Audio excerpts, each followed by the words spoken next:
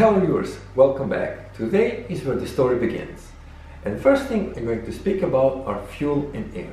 And why is this important? This is important because we need to know how much fuel we can burn with certain amount of air without getting the black smoke out of the exhaust.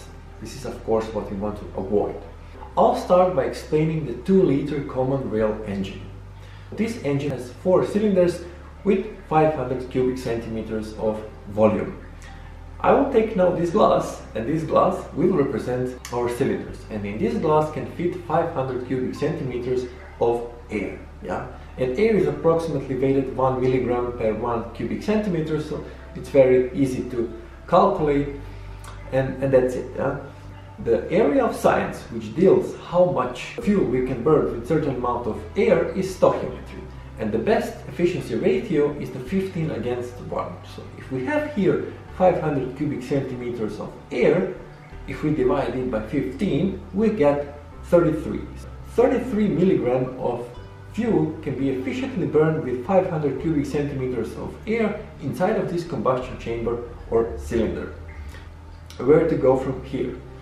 This is what would explain the naturally aspirated engine, but we are dealing with turbocharger engine. Next thing I have to explain is the difference between the fuel and air.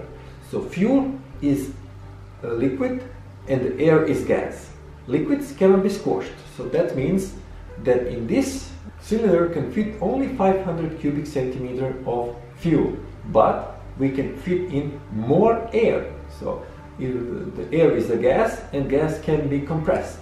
And so that means that with normal atmospheric pressure, which is 1000 millibar, here can, can fit 500 cubic centimeters of air, but we, if we have the double pressure, we can get the double amount of air. So 1000 milligram of air can efficiently fit here inside of this combustion chamber.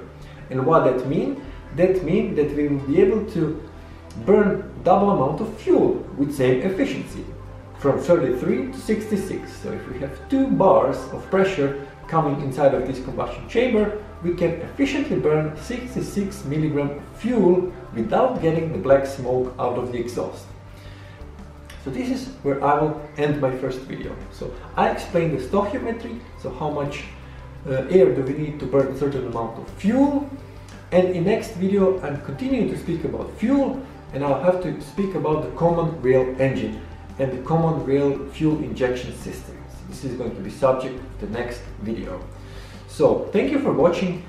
Until next video, stay tuned on my channel.